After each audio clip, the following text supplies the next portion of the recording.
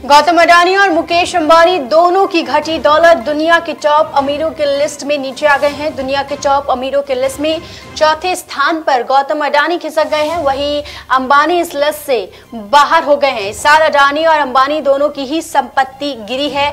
इसके साथ ही उनकी संपत्ति में, देखिए, गौतम अडानी की संपत्ति में इस साल अब तक छह सौ तिरासी मिलियन डॉलर की गिरावट आई है। इसके साथ ही उनकी संपत्ति घटकर एक सौ 20 अरब डॉलर रह गई है अडानी की जगह, इस में तीसरे स्थान पर अब।